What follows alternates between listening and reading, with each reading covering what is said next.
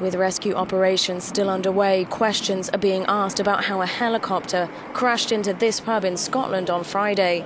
Police are still searching for survivors beneath the collapsed roof of the Clutha Vault Bar in Glasgow. The number of people killed stands at eight, with 14 people in a serious or critical condition in hospital. An inquiry has been launched into how the Eurocopter 135 could have crashed into a crowded pub. Significant safety alerts grounded the EC 135s last year.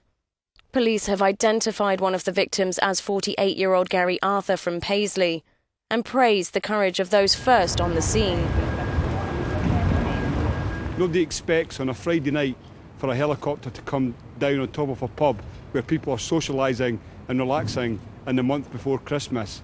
And it really is uh, a heartfelt thanks to everybody that got involved last night to assist their fellow citizens and the police continued to call on public support, appealing for any footage of the crash to aid in their investigations. With fire services still scouring the scene, relatives face an anxious wait to hear news of their loved ones.